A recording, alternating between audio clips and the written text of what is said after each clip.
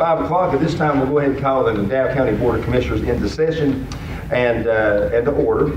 We always begin our meeting with a prayer and a pledge. So I'd like to ask everyone to please stand uh, with us tonight. And Commissioner Lynn Green will lead us in a prayer. Then Commissioner Barry Peters will lead us in the pledge. Let's pray. Our Heavenly Father, we come to you this evening thanking you for your mercy and for your grace. Thank you for all the blessings that you bestowed upon us today. Father, we pray that as we undertake our work tonight, that everything that we might do here this evening would be for the betterment of the folks of this county. Father, we thank you for the, uh, your Son that gave his life on the cross, forgiveness of our sins. We pray that you'd help us do something tomorrow to uh, show people Christ that they might come to you and, and be saved. We pray in Jesus' name. Amen. Let's pledge allegiance to the greatest flag next to the Christian flag, the United States flag. I pledge allegiance to the flag of the United States of America and to the republic for which it stands, one nation, under God, indivisible, with liberty and justice for all. Thank you. May be seated. Uh, With uh, Veterans Day coming up this coming Wednesday, our board wants to go on record stating that we appreciate all the veterans who have served our, our nation and our country, who have some even given the ultimate sacrifice, which is their lives, so that we might assemble here today and this evening and uh, be able to conduct the business of McDowell County and its citizens. So, uh, do we have any veterans who are present tonight in the room with us that have served? If- so, would you please stand so we can recognize the veterans that are present with us tonight? Okay.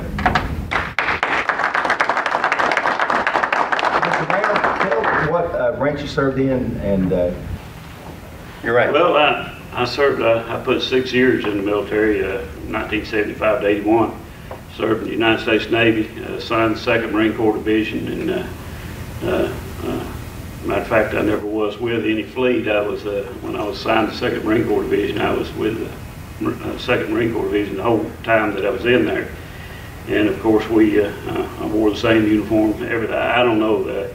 I was always just said uh, I might as well just been a Marine because that uh, that was who I was, was with all the time, and uh, even took my basic training down at uh, Camp Lejeune. And but anyway, I, I'm proud to have served.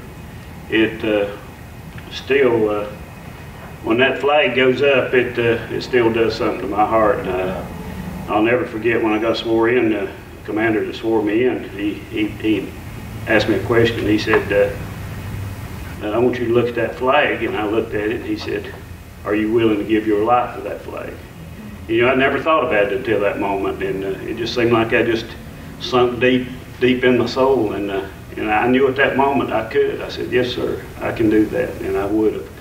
So, uh, but I'm proud to have served and uh, appreciate y'all recognizing veterans. And so, you know, a veteran, uh, you, sometime this week, make it a point to call uh, somebody you know that's in your family or somebody you go to church with or just somebody you know who has served and make sure to thank them for their service. Our, our board wants to recognize these brave men and women as we begin our meeting tonight. Uh, commissioners, we have the minutes that we need to approve. We have October 12th and October 19th regular session minutes. Uh, what's the uh, pleasure of the board concerning the minutes as presented? Motion approved. Second. Okay, got a motion to approve and second. Discussion. All in favor say aye. Any opposed, like sign.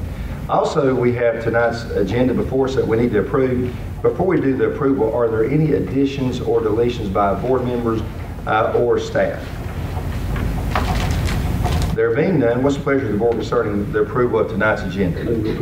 Second. Okay, motion second. Do we have anybody, any further discussion? All in favor say aye. Any opposed, like sign. Okay, we have our first appointment item, and we have Mr. William Kehler with us. He is here tonight to give us a COVID-19 update. So, Mr. Kehler, thank you to you and your staff for all you do day in, day out. Uh, And we appreciate you being here tonight, so the board hears you glad. Thank you, Mr. Chairman, uh, Board. Appreciate the opportunity to provide an update on COVID-19. Today is day 239 of the EOC being activated for COVID-19. As of today, we have 19,627 tests that have been performed, 18,115 negative results, 1,380 positive tests. Today, um, Health Department announced 41 new positive cases. Sadly, 36 individuals or McDowell County citizens have lost their life due to COVID. Positivity rate, 14-day rolling average is 7.84%.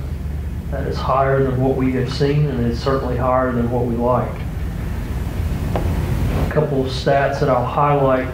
Uh, We've seen a record number last week of infections in our elderly population from what we have seen since March 16th when looking at a, uh, the weekly number of new positives in age 65 and greater. While we do have a long-term care outbreak that is ongoing, the majority of these new positives were outside of the long-term care setting.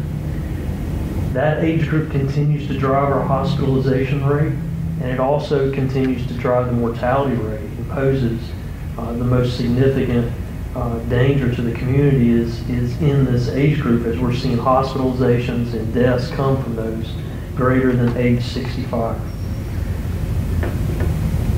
Hit just a couple other things. Our overall hospitalization rate, 6.81%. The overall mortality rate is 2.6%. In our age 60 to 69 years of age, our hospitalization rate is 19%. We have a mortality rate of 7.75% in that age group. Age 70 to 79, we have a hospitalization rate of 22%, a mortality rate of 9%. In our age group of 80 to 89 years of age, we have a 23% hospitalization rate and a 14% mortality rate. So you can clearly see, and, and then uh, our 90 to 99 years of age is much lower because our incident rate is much lower in that. Certainly, our concern remains in protecting our most vulnerable, uh, specifically our elderly, uh, during the time of high viral spread. Large gatherings, private large gatherings, and uh, parties continue to fuel uh, our positivity rate, and it's something that we're asking, please do not hold mass gathering in excess of the limits uh, that are set. It's a good reason because you, the likelihood of viral spread is much higher when large people, large amounts of people gather, specifically without the uh, use of mask and social distancing. Operations section uh, continues to focus on community testing sites. Today's site was uh, number 101 that we've conducted since May. Uh, we have consistently had two to three community testing sites out. It's fast, efficient, it's free. It really protects and serves underinsured or uninsured uh, citizens in this county. And uh, we continue that partnership with the health department. I think we should recognize the staff, not only EMS and the EM staff that has worked these testing sites day in and day out, but also the health department staff. Uh, specifically, these drive-throughs, they've endured some um, tough conditions from severe weather back in the spring and summer to hot temperatures, uh, but mainly the number of uh, individuals, the COVID positives that are coming through there, that they're uh, putting their own health and safety at risk. Uh, but a shout out to them. Our EOC staff continues to manage the COVID dashboard, which can be found, that data is updated with charts and graphs Monday through Friday. We continue our close coordination with long-term care facilities. As of this afternoon, we have 65 residents at Autumn Care that have tested positive, 26 staff members. Of those, 39 residents and 16 staff have recovered, and sadly, we've had three deaths at Autumn Care. They are currently in day 48 of their outbreak and on day one of the 28-day cycle. And in congregate living, for an outbreak to be declared over, you must run the 28-day cycle without having any new additional positives uh, for the outbreak to be uh, classified as over. Deer Park has four staff, zero residents. They're on day eight, uh, total days in outbreak, and also day eight of the 28-day cycle. So far, we have not had any residents test positive in the second outbreak at Deer Park, and our close coordination continues there. McDowell Detention Facility, which is classified as congregate living facility, as is uh, our pr- local prison. But uh, McDowell Detention Facility, four staff, two inmates have tested positive. Of those, three staff and two inmates have uh, fully recovered. They're on day 21 of the 28-day cycle. Marion Correctional Institution, 17 staff, four inmates tested positive. Uh, 11 staff have recovered. They're on day five of the 28-day cycle. When we look at long-term care, we continue our, our uh, weekly conference calls with this facility, but literally the operations section and the DSS liaison is working with them to field and provide technical assistance on a daily basis and coordinate and get them uh, answers to questions with the assistance of the health department. We continue countywide our county coordination call every Monday with our agency partners across the board. Uh, Recently, we've had to incorporate other incidents into that coordination call, but it's primarily used for COVID. The policy group, which is a combination of the community leaders uh, and key players in our healthcare facility, are meeting three times a week via conference call, formulating a strategy forward, uh, receiving the updates from the health department to ensure we're all working off the same page. Planning section continues uh, to receive information from the state as we look at vaccine distribution and planning when it becomes available. We're back to revisiting our medical surge plans in anticipation of the winter months, and we're continuing to refine our non-congregate sheltering plans as FEMA changes policy, or changes that policy, and also as we work into our winter weather planning, non-congregate shelter plans have to be formulated and edited to account for the uh, restrictions that are in place due to COVID. Our logistics section continues to uh, supply PPE to long-term care facilities that are in need. First, these facilities go to their commercial vendors. If there's a shortage or a gap in supply, they send it to the EOC, which in turn would coordinate with the State Emergency Management Office to get PPE delivered. Last week, we delivered 10,000 gowns, uh, numerous cases of gloves, and we continue our distribution of masks uh, to certain facilities. Finance section, uh, we continue uh, submitting FEMA applications. We are still working on application number five. We've submitted four applications. Uh, Once again, FEMA has changed a lot of reporting requirements that has put additional paperwork and documentation uh, burdens on us that is taking additional time. We have a total of nine applications that we're working for have been filed, and we're in the process of filing the other five. And then finally, uh, on top of COVID, we've got additional incidents. Uh, Back at the end of October, uh, we were able to get a state disaster declaration from the city of Marion and the town of Old Fort. That is for the May flash flood event that occurred. Both the city and the town had damages, uh, which to uh, qualify for a state declaration, damages have to exceed 1% of your general operating budget uh, for the fiscal year. We are working the preliminary damage assessment for Tropical Storm Zeta, uh, both for the county, the city, and the town. All three experienced damages, and we're awaiting uh, state damage assessment uh, for these. But we hope uh, this will meet the federal declaration. With Zeta, 135 storm-related calls, 88 of which were wind damage reports, 47 reports of, separate reports of flash flooding. And fortunately, uh, the rain stopped when it did, or we would have had a big mess. Uh, that was trending uh, in the wrong direction there for the first couple hours, uh, but fortunately, it let up. We had two structures damaged, numerous cars damaged. We had multiple mudslides and rock slides. We provided emergency protective measures and coordination. Fire, uh, Woodlawn Fire, the Sheriff's Office, and EMS uh, put apparatus on the north side of the landslide on 226 to provide coverage to Turkey Cove, Cox's Creek, and Little Switzerland, as those folks were isolated from emergency services uh, from McDowell County for about 36 hours. And on top of that, we're monitoring uh, the latest forecast for a potential heavy rainfall event, uh, not only Tuesday night into Wednesday, but potentially the weekend as the remnants of Ida or Eta, whichever one you want to uh, say, are forecast to potentially come up through the southeast. Uh, So definitely a busy time. We uh, appreciate the support. Happy to take any questions. How much, uh, how much rainfall are you, is predicted to come with that one? The first round is uh, projected three to four inches right now. Wow. And we were waiting the evening update, so like any of these forecasts, they'll they'll drop, they'll increase until we get right up to the event, but that was the initial thing. I might as well kiss my drive goodbye again.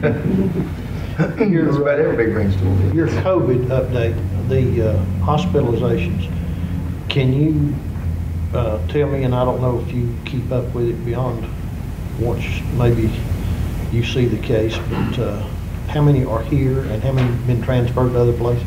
Yeah, there's no good way for us to maintain that data. I do not have that data. Okay. Um, At the very best, for us to try to maintain it is knowing when someone gets hospitalized, but trying to track them is virtually impossible with the various uh, hospitals that folks go to in the different healthcare systems.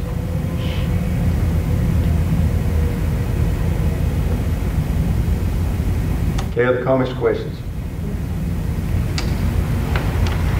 Okay, we, your crew does an outstanding job, and, and rest assured that this board backs you 100% what you're doing, you and your organization. Thanks so much. Appreciate that. Okay, let's move to our next item on our appointment schedule.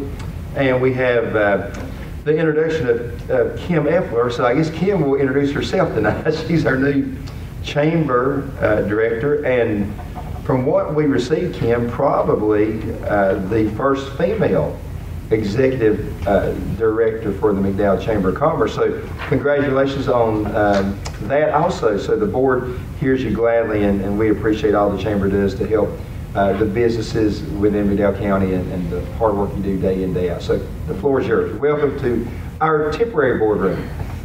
Thank you for having me. Um, Good evening, Chairman Walker, County Commissioners, Ashley. Thank you for allowing me to speak tonight. For those of you that don't know me, I am Kim Effler. Just a little bit about me. About me. I was born and raised in Parkersburg, West Virginia. I have a degree in paralegal studies and a 10-year banking uh, career uh, with BB&T. In 2007, the bank transferred me from West Virginia to the tiny little mountain town of Old Fort, while our uh, newest branch was under construction.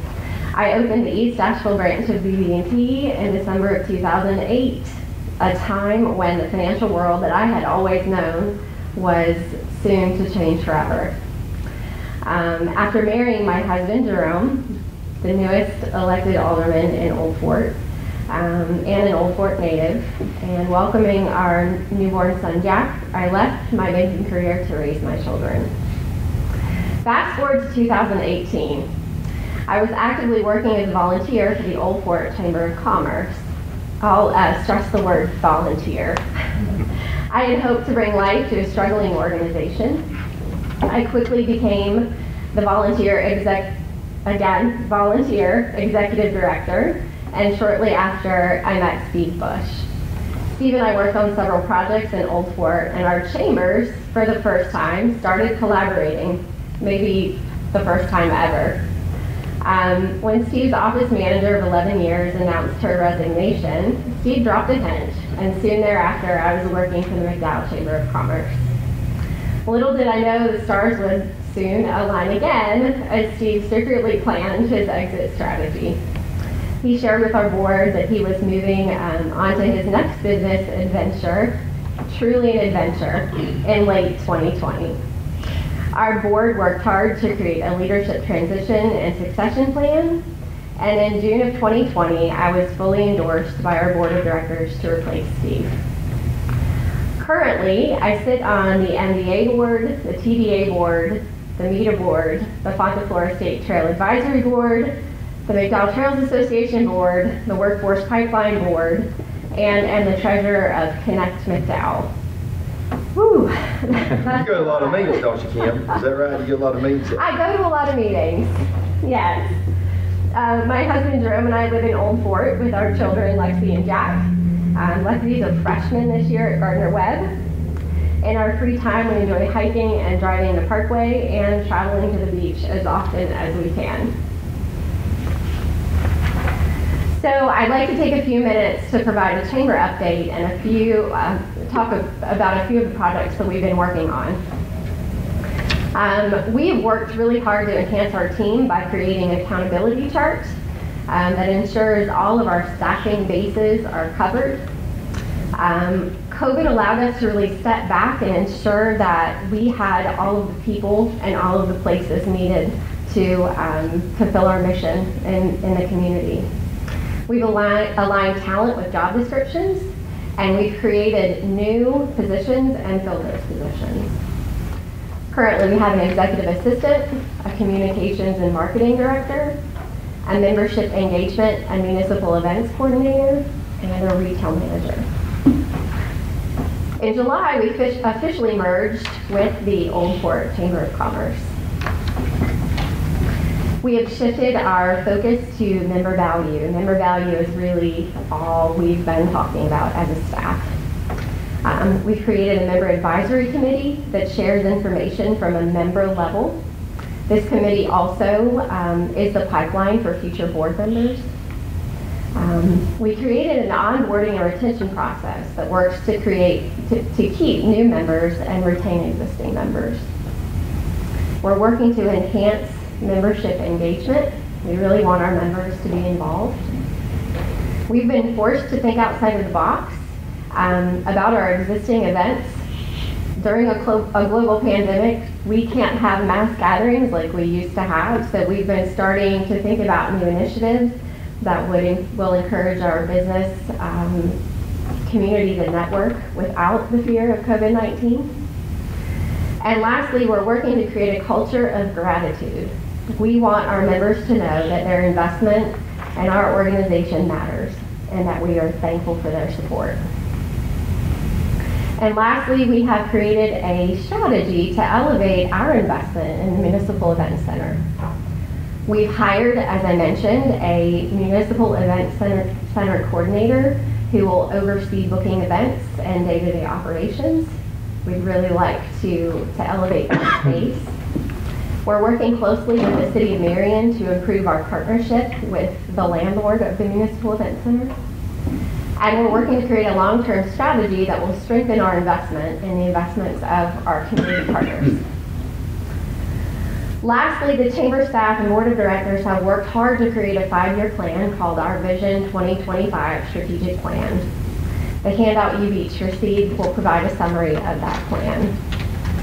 There are lots of exciting things happening at the chamber, but we couldn't do what we do without the support and collaboration of each of you.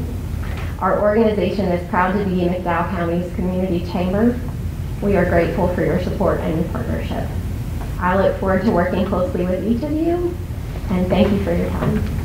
Well, Kim, I'll just say, I'll start out to say this, that um, during a a pandemic, we are so proud of our local businesses and uh, the support that has been given to them. And it's been pretty successful, even through a pandemic.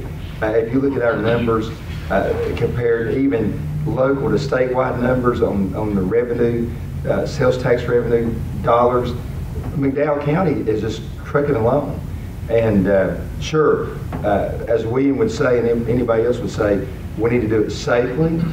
We need to do it properly with, with the proper guidelines in place. But listen, we, we are open for business. Uh, pandemic or no pandemic, uh, do it the right way, and you can still function and operate and uh, grow. I, I, you know, I want us to grow coming out of this this pandemic. I want I want to see just the, the atmosphere and the spirit of growth and uh, cooperation, partnership. And this board, one of the things that we delight in as a board is to uh, see who we can partner with to make this a better place for everybody to live, to work, to raise their families, and enjoy a good quality of life. And that's what we're determined we're going to do. And so, uh, congratulations, number one, on your appointment uh, to the executive director's position. And uh, rest assured, our board stands as a partner uh, at every turn to make that chamber even more successful and the members of the chamber more successful. Uh, so, with that being said, comments or questions by, by board members? Yeah, I'd just like to say uh, briefly that uh, being from Old Fort, I'm an Old Fort native, and uh, uh, anyway, I I do see and hear a lot of what goes on, and and I do want to say that I recognize Kim tonight as being part of the mechanics that helped get a lot of things going in Old Fort. So I appreciate her hard work up in that area, and I certainly can say that we look forward to working with you throughout the county. And I just say this, the face of the organization has gotten better since Steve Bush is gone. She's. uh, easy. Don't quote me on that, Steve. I know, if Steve Bush, if you're watching, I didn't mean to offend you, sir. You're still a friend. I certainly appreciate your comments. Uh, I believe, just to add to what you said about the, the pandemic, I believe that our business community has emerged a better version of what we ever thought it could be. Um, Our community has, has joined um, stronger through, through these times, and I'm really excited to see where we'll go from here. Kim, I've heard uh, nothing but good, uh, even when you were a volunteer. uh, uh, People talking about the job that you were doing, and I'm, I'm glad that we have got uh, somebody with your vision and your professional conduct in this position. Thank you. And, and one thing I say too, uh, that I like, you being the director, 10 years in banking, so you understand what it takes to be successful. They made a perfect choice when they chose you, because you've got the strength, but you've also got the personality and the drive to get it done, and I appreciate that. Very.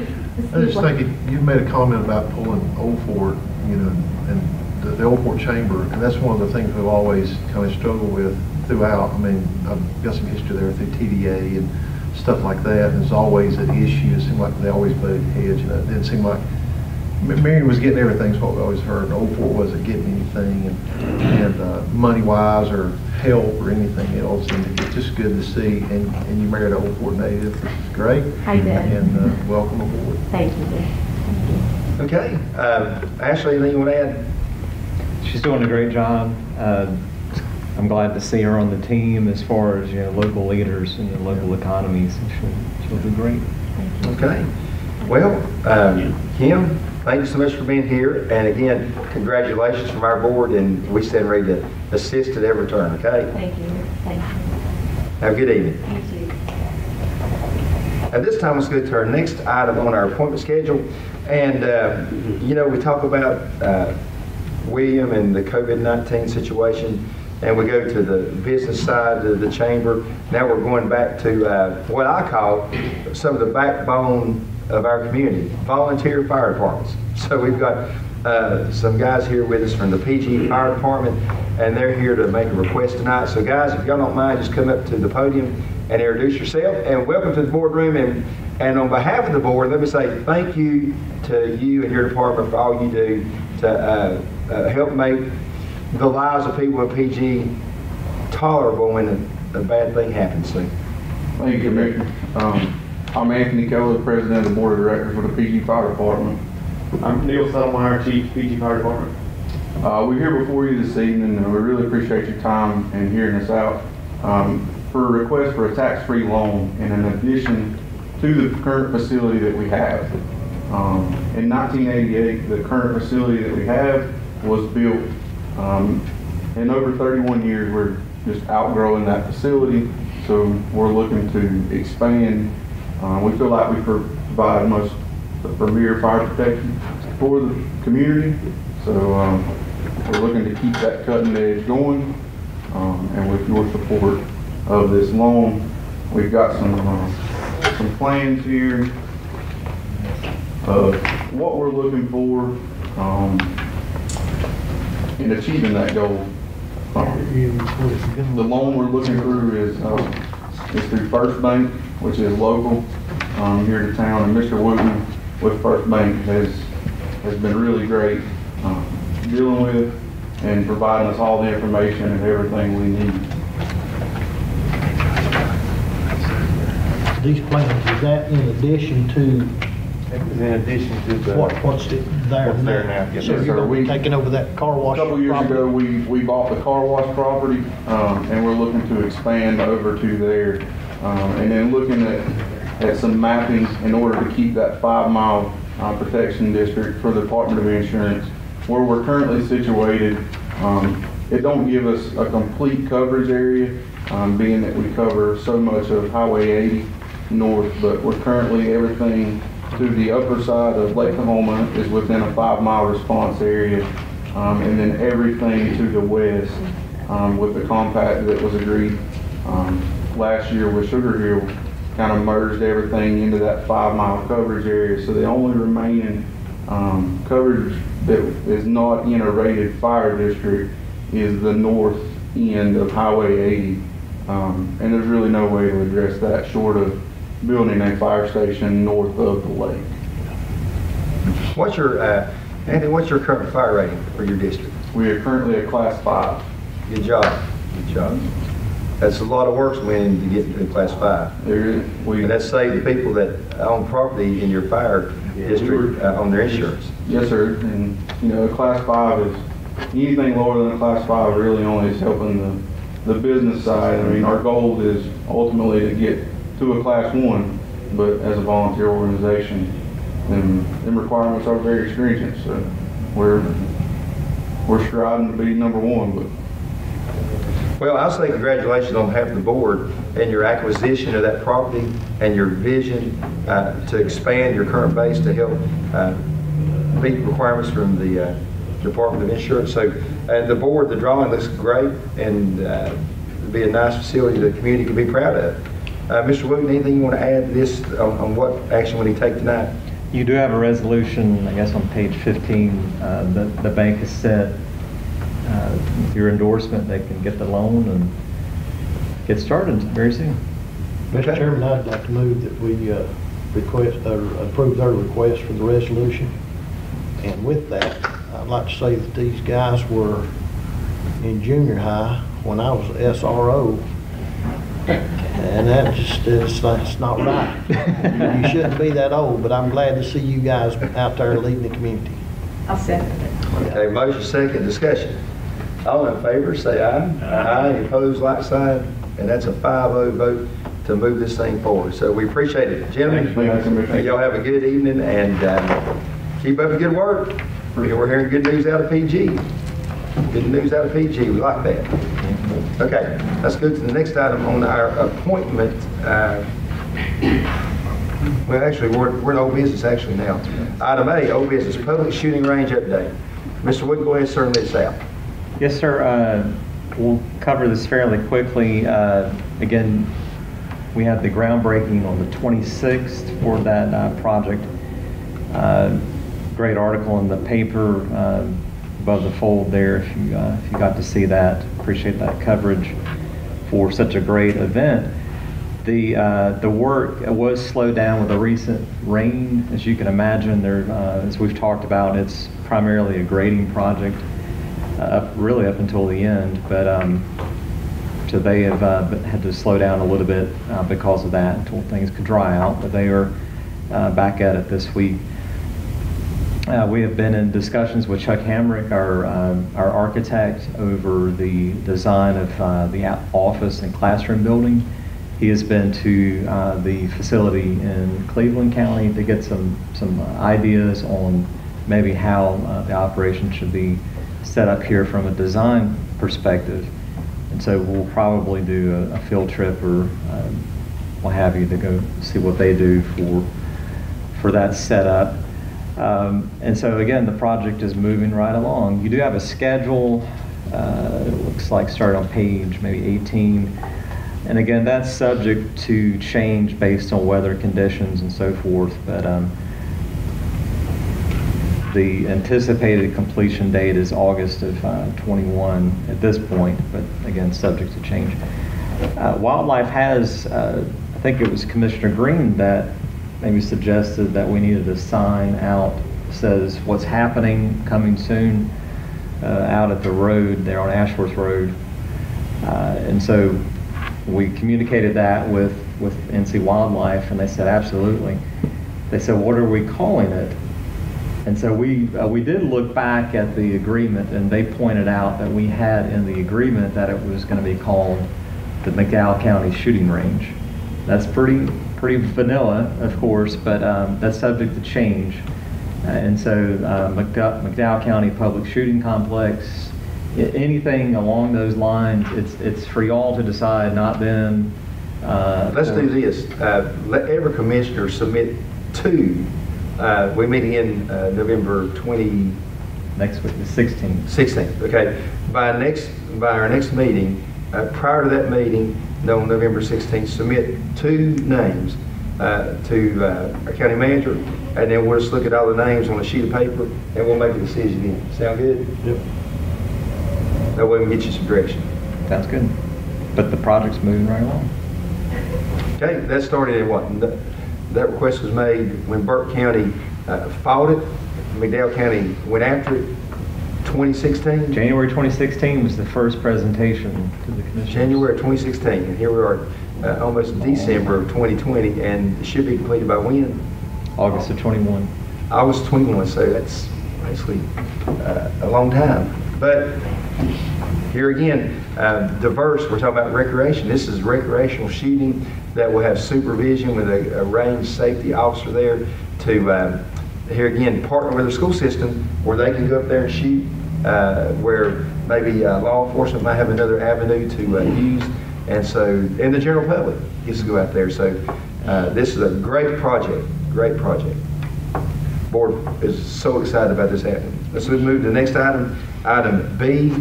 This is the Emergency Services Capital Projects Update. Again, uh, quick update on uh, capital projects. Here you have an email from Mr. DePoyster, page 32, with some estimated completion dates provided by the contractor. Uh, For Station 4, again, this is the north station on north side of Marion. Uh, Very specific date of February 22nd, 2021. You do have a picture uh, or two that's in your packet, uh, page 33 and 34. 34, you can see the, uh, the truck bay in the rear. I'm sure most of you have seen uh, this either on site or driving by. And so you see it's a double truck bay uh, where they would pull in uh, capacity for two trucks. Uh, It looks very nice compared, um, you know, to um, what it looked like before. So they're moving right along, again, towards a February completion. Uh, Don't have any pictures of the, the headquarters site. Again, it's mostly dirt, not all dirt at this point. The estimated completion date, again, subject to change with weather, is November 26th of next year. Um, If we have more tropical systems, it it probably will slip a little bit, but uh, as you can see by Mr. DePoyster's note, the estimated date for the building pad is uh, early December. So they're essentially uh, getting close to final grade, and then they'll start on the underground uh, utilities, plumbing, et cetera, and then work on the building pad. So that's. And that's going to be a beautiful site. Uh, I was talking to William today and uh, about how they moved all the dirt and, and it's flat and, and looks like it's ready to go. William said they've already marked off uh, spot, you know, started put some uh, stakes out, flags out. And William said that's going to be a beautiful place for a uh, uh, the headquarters to be, and, and that's so true. And what we love, and I know what William has advocated for, is quicker response times, saves lives. And so our board's motto has been right with William, uh, minutes equal muscle in a heart attack situation, and we want to respond as quickly with, with the help that, that get there as quickly as we can. Just an example, uh, the fire chief at Beals Creek had a heart attack yesterday, passed away this morning, um, and uh, so, you know, it's all about response time and getting there as quickly as possible, and that's why during the pandemic, now, how many counties can say this? During the pandemic, uh, we're full steam ahead on remodeling and creating uh, a space for a base, and then building a brand-new headquarters. So, William, this board's committed to making sure we've got, you've got everything you need to uh, respond and, and, and be as efficient as possible. So, any questions or comments by board members? Okay, there being none, Terry, anything you need to add? Okay, um, let's go ahead and move to item C. This is facilities update. Terry, you may want to talk a little bit here, maybe, after Ashley goes first. We'll we'll leave you some space, maybe. Uh, These are mostly related uh, to uh, things we talked about last month. Again, item one here, uh, Mr. Hamrick, again, the architect. We noted next, or last month that the, uh, the Kirksey building, as we called it, 69 North Main, that the county has purchased. There were no blueprints to be found for uh, that building. And so Mr. Hamrick and his staff had to go in and measure every room And so we've received that this afternoon as far as the existing conditions with dimensions and everything. So now that he has that, he can now start with drawings for everything beyond the boardroom. The, the board has made it very clear that the, uh, what was the chapel will be the boardroom, but beyond that, it would be administrative offices for uh, the HR department, finance, uh, clerk, county manager, etc. And so that's the part that we'll get started on very quickly. Uh, The next item we again talked about last month, um, there was a, I I can't remember if it was a motion honestly, but uh, there was direction to, Uh, Let let me back up real quick. Yeah, I'm sorry. Uh, I think Terry DeForester has told the board the completion of that project uh, on Main Street in the Kirksey Building is March the 1st. Is that correct, Terry? Very possible. he didn't say what year though, so. um, But it is something that um, Mr. Hamrick, he, he gets the message, and he has a lot of projects that he's doing in this county, and I'm sure other counties, but uh, he understands that this is a priority of this board uh, to move this uh, along as fast as he can uh, on the design uh, end of things. So um, his effort is definitely appreciated. Uh, And so we will, this isn't something that's done in a vacuum. This is something where he will look at existing space for, uh, again, uh, beyond the boardroom, uh, where the annex is, as far as the usage. And we'll talk to staff, and board, staff will talk to the board and make sure we're very clear what's happening here. Uh, The next item, uh, there was direction for staff to look at two existing buildings on South Garden Street. It's been purchased over the years for various reasons. Uh, The direction was to look at removing those and grading them for parking. Uh, Mr. DePoyster and I and uh, Chairman Walker met at, on the site last week uh, to look at, um, look at the property. Uh, and actually spoke with the adjacent property owner over some options. We do have one quote in right now. Uh, We have two other contractors, I think, coming this week. Um, They're local, so we'll get, uh, get those in hand. Uh, and Maybe can bring those back Monday. Had a nice aerial view, didn't we? You you have a great perspective from the parking deck of, the- of that site. So um, if we have those in hand, we'll try very hard to have those in hand Monday for your consideration. Um, And the way that flows too, actually, just tell the board real quick, you know, you, you would think, here's your admin building, you would think it's run straight, and those two, but the property goes like this and juts out that way, so, uh, there, there might be more parking there than what we anticipated. There's a little bit of a, a jagged line, exactly. So there is some opportunity there uh, to have a better outcome than what we have right now. The third item, uh, again, we talked, uh, I believe it was in this room last month about relocating uh, probation parole to the second floor of the administration building. Mr. DePoyster and I met last week, I believe, uh, maybe the week before, with a representative of the Guardian Ad Litem program. Uh, They would be moved from their existing location uh, from that space. So we've met with them. Uh, We've communicated again with the Extension Service, uh, Ms. Sampas, the director there on um, on planned relocation, as well as child support. So everyone that's up there knows what's happening, and they're all on the, the same page as far as, as the plan. So, um, appreciate direction from the board on that. Uh, I miss anything? That's it.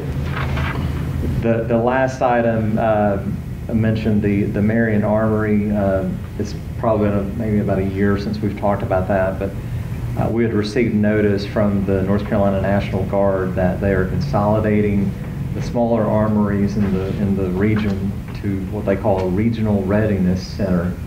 And that's based in Morganton, uh, where the high-rise was located.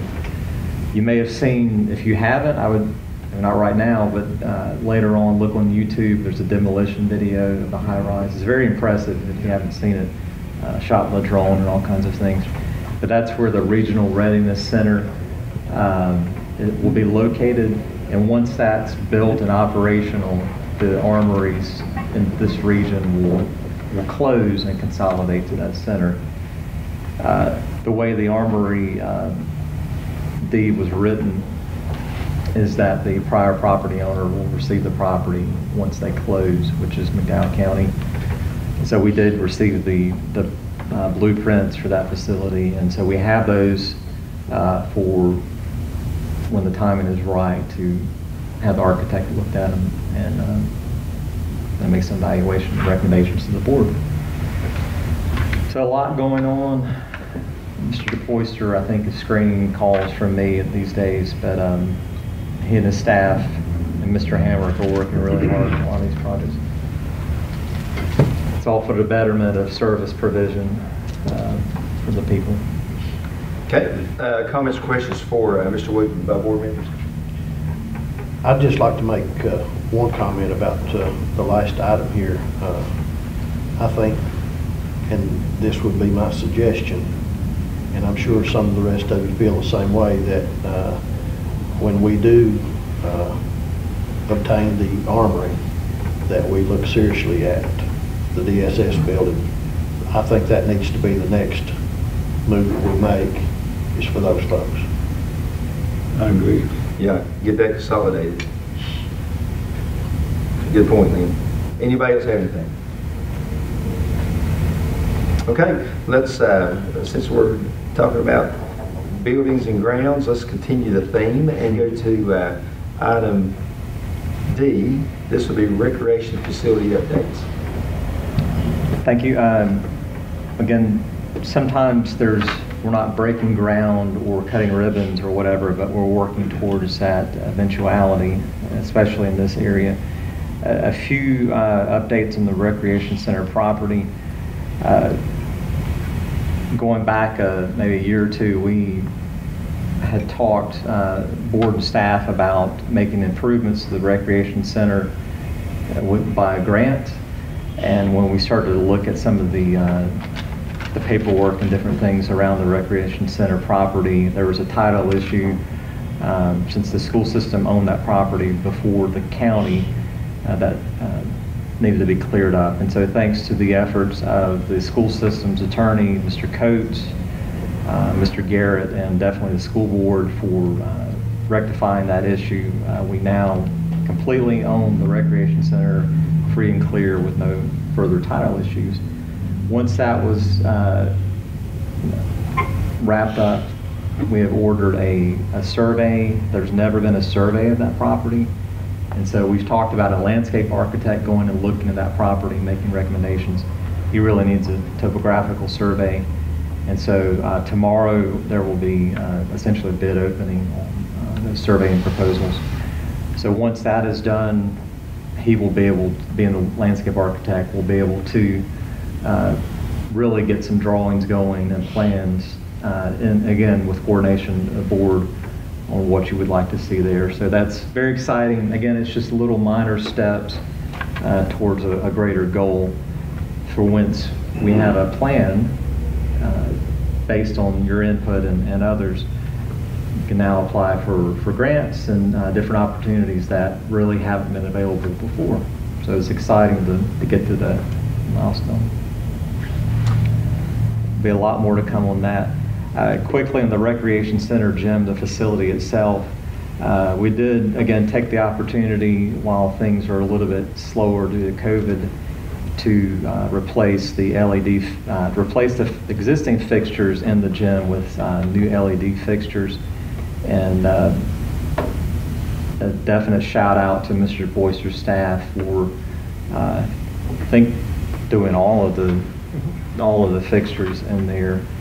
Um, It was a somewhat easy process once you knew what you were doing, and, which they did, thankfully, because I wouldn't know where to start, but uh, the sound just from the lights, uh, having that reduced to LED has made a huge difference, which is important for the next part. Uh, We are getting quotes for sound baffles that would either hang from the ceiling joists, uh, the rafters, or hang on the wall, or maybe a combination.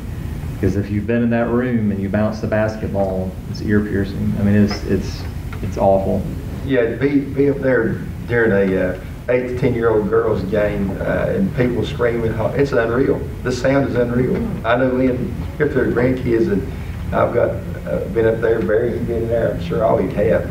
And uh, it's just, we're looking for a, a real strong change that's going to be noticeable for people when they go in and use that gym moving forward with uh, recreational basketball programs. Exactly. So it's, again, incremental, but making a a big difference.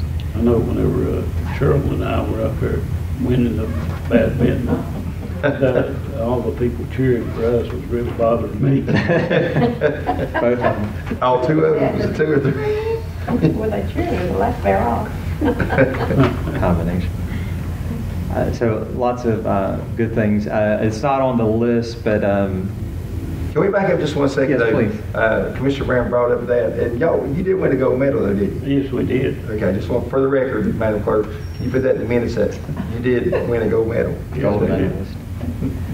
Uh, Again, uh, not on the list, but uh, we are having uh, some flashing, or if- is it the whole roof or just the flashing? Just a flashing. Just the flashing All around the perimeter. Right. Uh, On the perimeter of the gym is being replaced. If you look at the facility, especially after a rain, you see just where water is going down the sides and and the, you know, water evaporates, it leaves that dark stain. So we're, it's a flashing issue, so that's going to be replaced, which will stop the water from going down the side of the building. And then once that happens, we'll clean the side and it'll look uh, tremendously better. Um, Are we looking at those windows too, actually? I know that the We the big are. windows when you go in. Yes, sir. It could be a much longer list than it is, but uh, we're getting uh, definitely the local company, McDowell Glass, to look at it, but we'll also contact folks in the region, probably to replace it all. So I think we've maybe done one at a time and just knock it out all at once. Get a lot better pricing that way too. Uh, Quickly on Maple Leaf, uh, related not so much on the title issue, but um, the need to get a plan uh, developed there. Uh, There is a survey on that property, but it's just a boundary only. So we need a topographical, and that's, that's been ordered, and we'll use the existing survey as a basis. That'll be in hand, I believe, next week.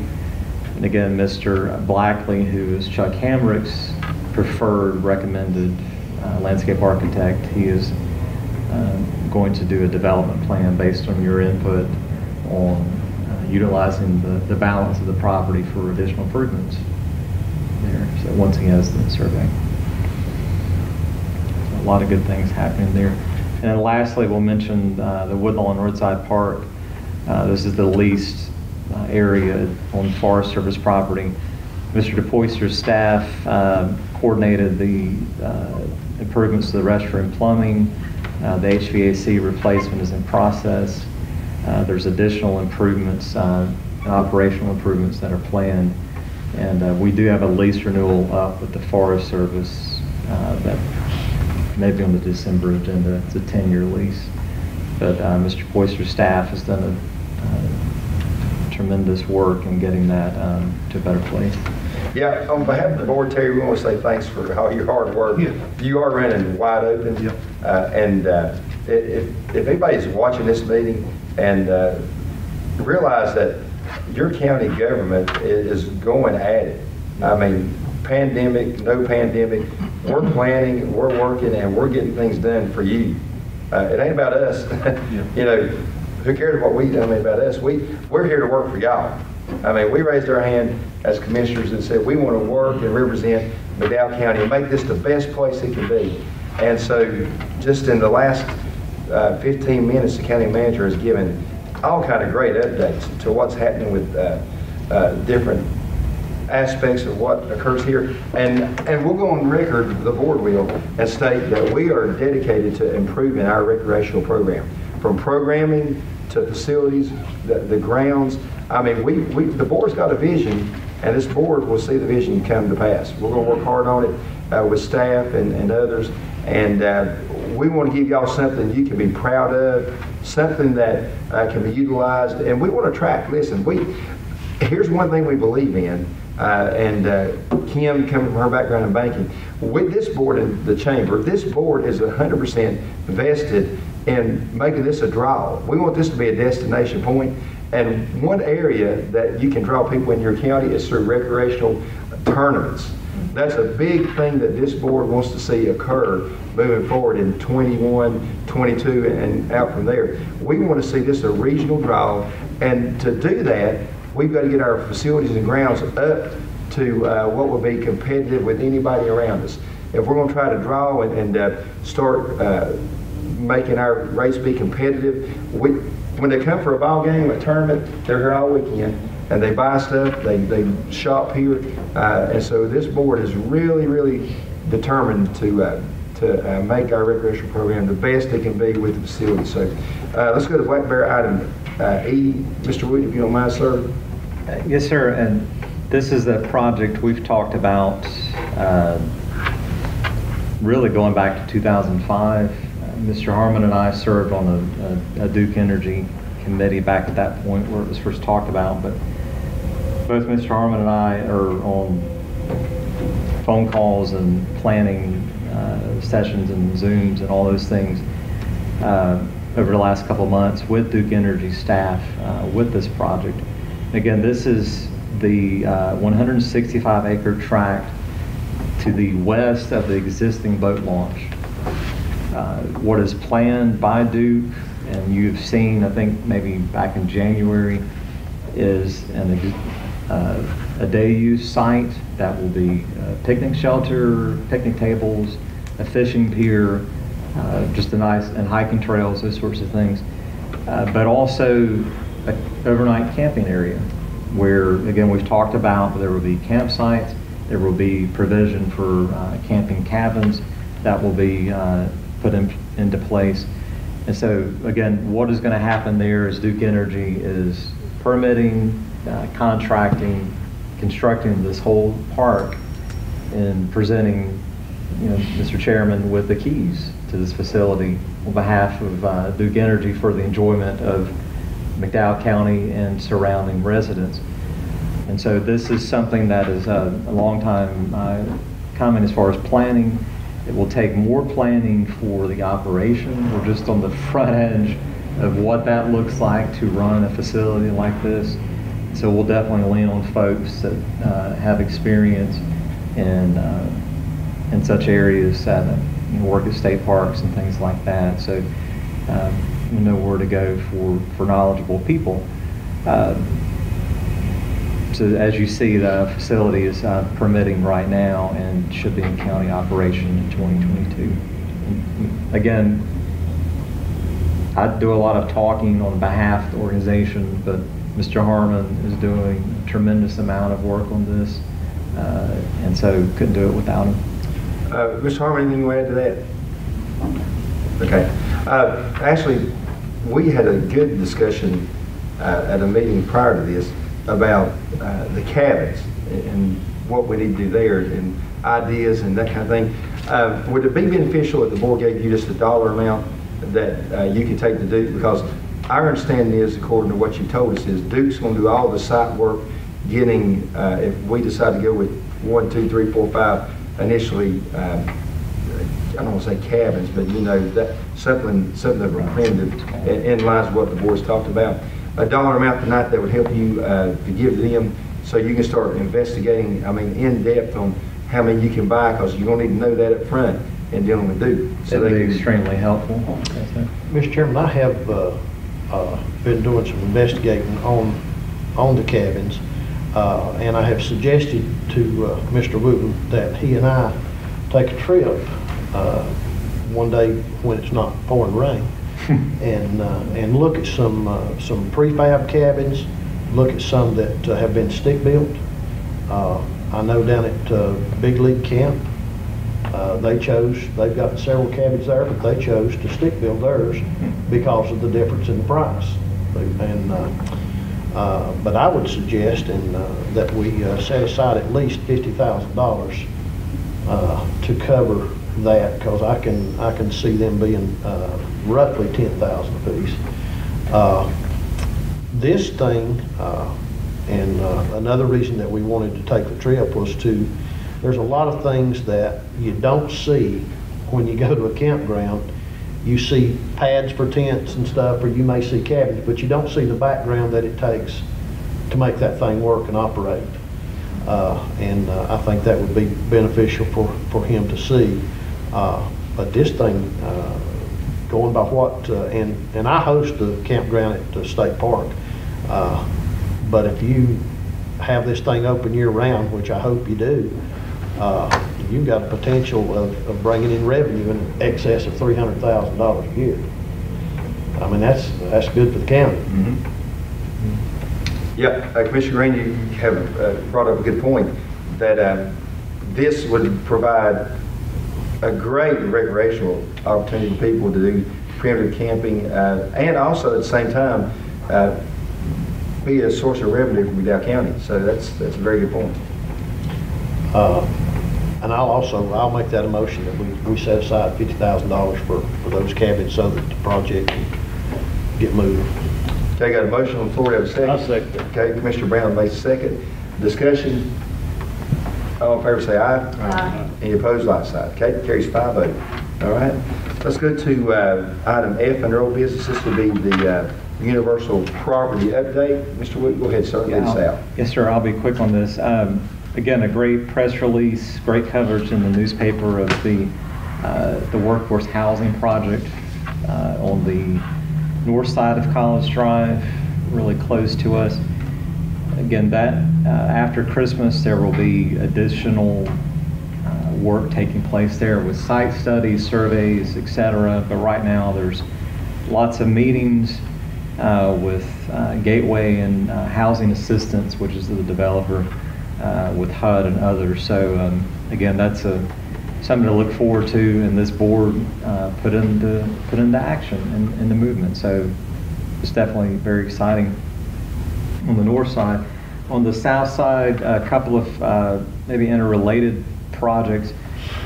Uh, Within several weeks, we're still um, waiting to know when exactly that will be bid, but uh, you've heard about two access roads on the south side that are paid for by Appalachian Regional Commission. Uh, We think those will be open maybe December 15th at the earliest. Uh, And so we're waiting to see how that uh, works out. Uh, That will be bid by NCDOT. There is also the effort with the Golden Leaf, the CBGI, the uh, Community-Based uh, Grants Initiative that we've talked about. You endorsed an application of $1.5 million for uh, road and utility infrastructure on the south side. That letter of interest was submitted. You've got a copy of uh, some of the information there. Uh, That was submitted thanks to um, great effort by uh, Mr. Abernathy. I hit the send button, but um, he did most of the work on getting the information together as well as the engineer. So we'll know in early December if they're going to invite for a formal application, and then there will be a a decision made in April. So definitely fingers crossed on that. And here again, uh, the, uh, the total community buy-in when uh, we were, we had the uh, tobacco settlement money out and Golden Leaf, what, what to do with it. And uh, city, the county, uh, the trustees of the college, I mean, the school board, everybody endorsed buying this property right here. And, and I- you heard me say it many times, and I'll continue to say it, this property was voted, bought on a three-two vote. And uh, Commissioner Peters was actually probably the tiebreaker vote in that scenario. Am I rec- recalling that correctly, Mr. Two Peters? two against, was the pendulum that swung. Mhm. So uh, here again, another good move right there by the board to buy this because we provided space for the college. They, they've got space needs and, and moving forward, if they experience growth, they've got a space to grow into. We created this universal manufacturing skills training center for industry uh, to be able to come in and set up programs to have uh, people trained. Uh, And, and here again, uh, it's a win for the people of McDowell County because there's rental income. The county leases out portions of this building that generates revenue, which in turn helps uh, keep the cost of doing business down here and uh, helps keep fees and other things down for our people. So it's, it's a win. And uh, you got to think long-term. And so uh, hats off to all the partners in the project. Other comments or questions? There being none, let's move to uh, new business, item A, administrative items. Mr. Wooten, sir, go ahead and lead us out. Yes, sir. Uh, There's a few items here, um, and if it's all right, we'll, except for the amendments, we'll just take them separately. Um, You have three Nebo water leak adjustments we'd ask approval on, and you have each listed separately with receipts and explanation. Okay, what's the pleasure of the board? Motion approved. Motion to approve? Second. Second. Uh, Discussion, all in favor, say aye. Aye. Any opposed, like sign. Okay? Go ahead, Mr. Wooten. Thank you. The next one is a listing of uh, uh, our positions. Uh, We're asking that you add the title of Public Services Manager. Uh, This would be a, a new uh, position, more or less, inside that department uh, that would serve, um, essentially uh, take the place of the role of what was uh, the Deputy Director for, uh, for solid waste.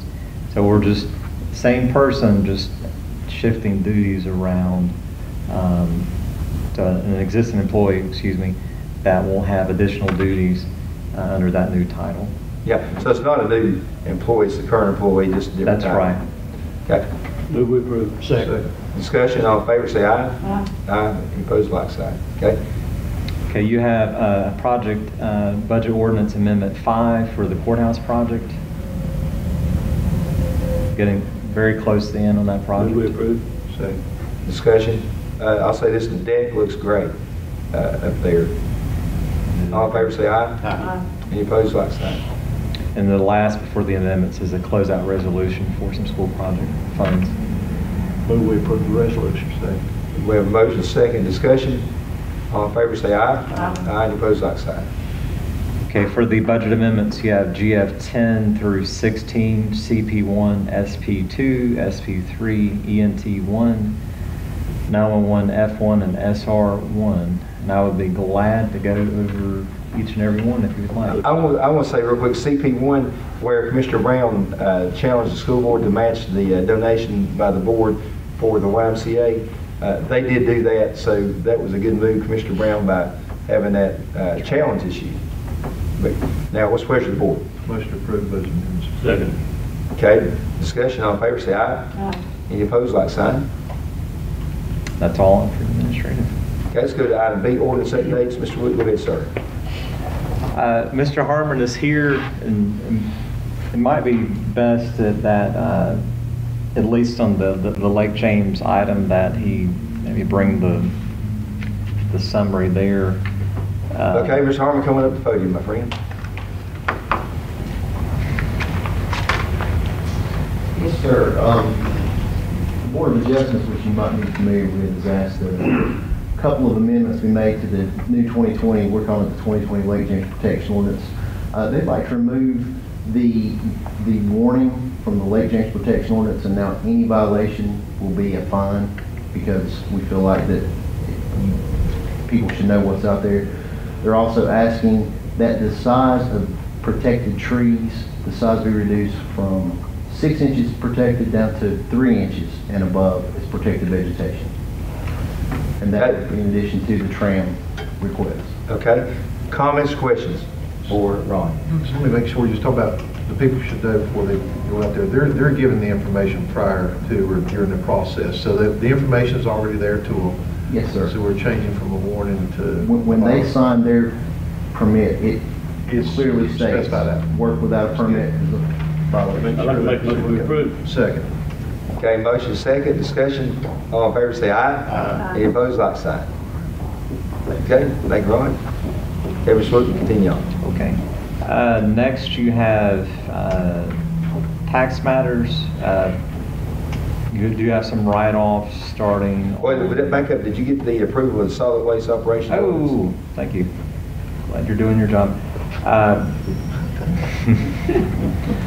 Just in a hurry to be done with the meeting, I guess. Uh, You also have, uh, under the solid waste ordinance, uh, you have the solid waste operation ordinance, and a, which is, the second is a different ordinance called the illegal solid waste ordinance. If you go back a little bit in time, uh, the board asked the planning board to look at uh, littering essentially, and this is the, the product of that. Uh, And so uh, that would be the illegal solid waste ordinance. We have, uh, which is different, we have the solid waste operations ordinance, which deals specifically with the transfer station uh, here up on 20 226. Uh, We took the opportunity, uh, presented this to you a couple of weeks ago, uh, just sort of like a first reading. Uh, The solid waste operation ordinance is what governs what we do every day at the transfer station, and it definitely needs to be updated. It's just been a while, and we wanted to make sure that was brought up to date. The illegal solid waste uh, does not have to be updated or approved at this point, but uh, it is based on something you've asked. And so they're both ready to go if you are. Okay, comments, questions? I have one question on the illegal Yes, sir. waste. Uh, Is that what we see outside of the uh, collection area, or is that illegal stuff going in? You understand my question? So what would be the enforcement area, like? you know, Yes. Essentially, this would be anywhere in the county outside the municipalities. So if this is someone's uh, house where there's a- an illegal accumulation of waste as defined, which that's pre-existing going back 20-some years, or if it's on the side of the road, or those sorts of things. It's not related to county facilities. I guess my question there is, uh, does our ordinance meet the statute that's already in place that takes care of that? There's a little bit maybe uh, on like roadside litter, but there isn't a statute that regulates the accumulation of waste at a, at a. Let me ask you this, Ashley, because we get calls periodically for somebody who has a neighbor who uh, lets trash pile up. And they call and say, hey, they got, it's just an eyesore, uh, and this looks terrible. So you're saying this would give grounds for somebody to go out there and tell them to remove that? It's technically covered under the existing solid waste ordinance now.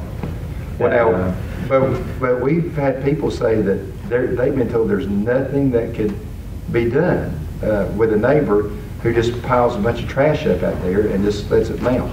Typically becomes a health I thought they could uh, be required to, to, uh, the county would go out, do the cleanup, and charge the uh, resident with the uh, cost of the cleanup. It, it, and so there's different situations there depending on the severity, but if someone, you know, in whatever community or whatever outside municipalities had 30 bags of trash piled in their front yard, porch or whatever, based on the, the ordinance that exists as of today, not even this one, exists as of today, it's illegal. And that's been in place probably 20, 25 years. I've been a commissioner 18 years, and I've had people come to me. It's never and then- been enforced. And then say, they, and I say, call the health department, whomever, and uh, the stuff, I could take you, to- I'm thinking of two examples right now. I could drive here and show you right now where uh, this person beside, the person, well, one of the gentlemen's dead now that uh, had talked to me about it, and uh, this stuff's still piled up out there. I'm just, I'm just wondering though, and here's where I'm coming from, and we've got our attorney here.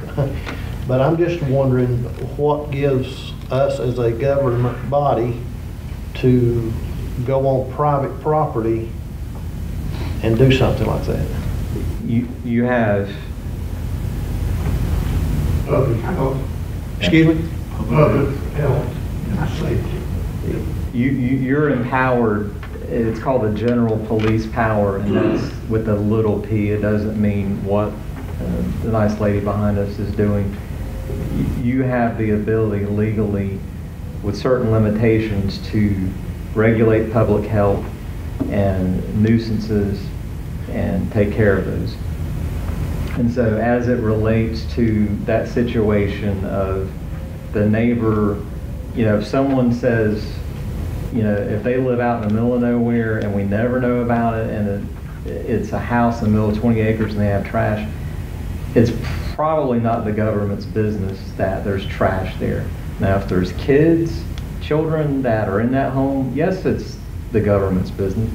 Uh, But if it's someone and they choose to live in that situation, then there's not much you can do.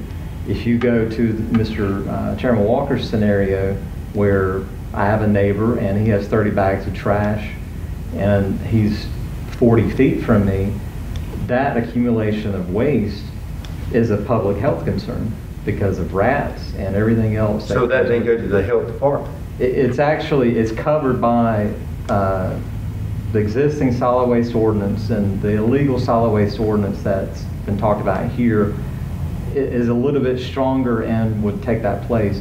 But as currently written, it would be uh, referred to the sheriff's office for investigation uh, and, you know, for citation, depending on uh, the situation. So, let me get this clear then. If that be the, the, the route you would take, then there would have to be some type of judicial order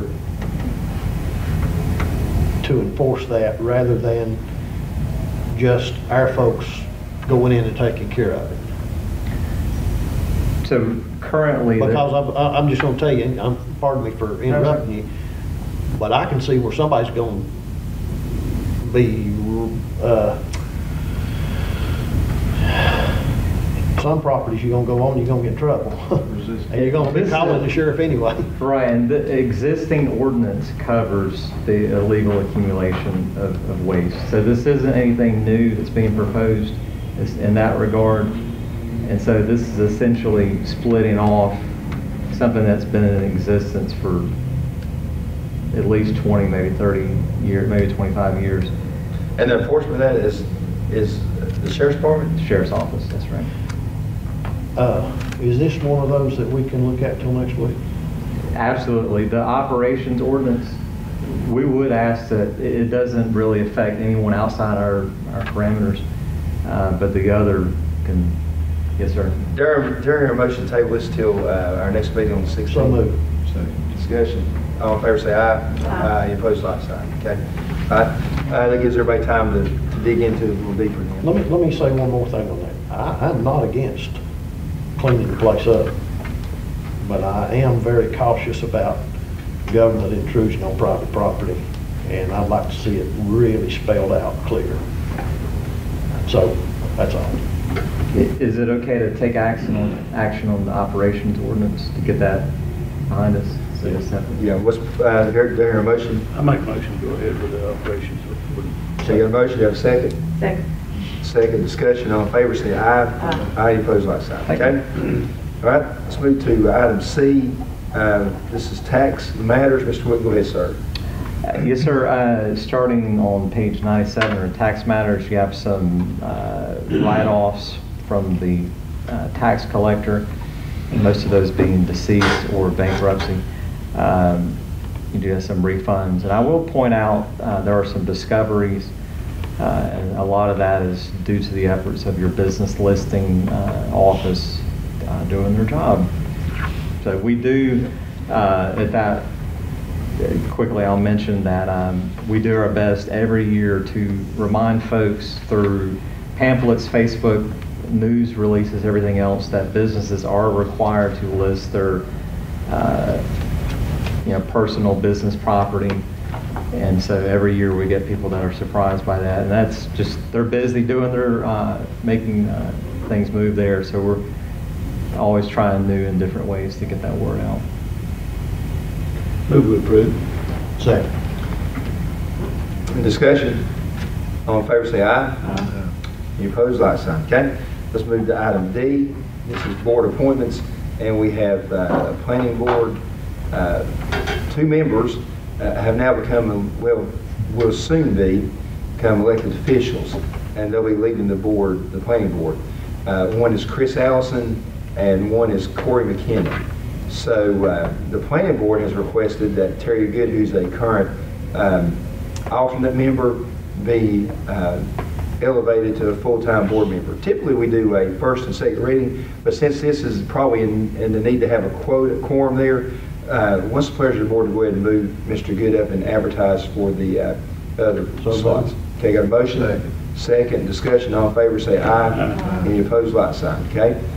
Uh, Let's see. Citizen comment, let's move to that. Madam Clerk, has anybody signed up to speak tonight? Oh, I'll add that, I will advertise those planning board appointments and bring those back to second reading next month. Okay? And no, sir, we do not have anyone. Okay, thank you, Madam Clerk. Uh, Let's go to Commissioners and staff uh, reports, communications. Does staff have anything they need to uh, bring to the attention of Commissioners and vice versa? Do Commissioners have anything that needs to be made known at this time? We have a Christmas party. Uh, Christmas party, uh, Peters has talked about that. Me and the county manager had a conversation about that today, so we need to get input from the board. Uh, One thing I told, I told the county manager when he asked me about it, I said, I think that uh, with COVID, of course, Mr. Kehler would definitely advocate not to have uh, a a gathering because we would be in violation of, of the uh, state law. So, but we value, I know every board member values their, their county employees. So I asked Mr. Wooten uh, about this. I said, let's just go ahead, it's catered every year anyway, and let's have it a drive-through at our uh, senior center and uh, have the, the meals prepared, pre-prepared, and uh, just pass them out and do the normal invites like you would normally do. And, and that way we're, we're still feeding our uh, people and give them a good Christmas meal. And uh, also, we do the door prizes. Uh, We could uh, look at a method to uh, do that also. Thursday. Drive-through. Thursday. Would there, would there be a uh, mechanism to, and I'm sure there would if you uh, survey your departments, but to figure out how many meals you need to actually? Uh, He would do, they do that every year. Yeah, there's a form. It'd be Okay. Yeah, yeah, the standard, standard form that they do every year to retirees and to, to our current employees.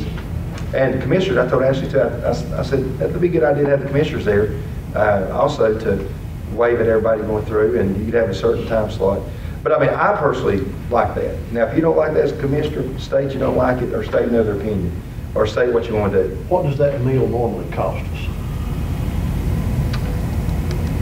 Um, They get back to you the When next you said meeting. door prizes, were you gonna maybe take the list that you get of how many is gonna pick up meals, use those names, and draw much like they do at the health thing? What was you talking about? I had a crazy That- idea, uh, just, just, we were talking out loud.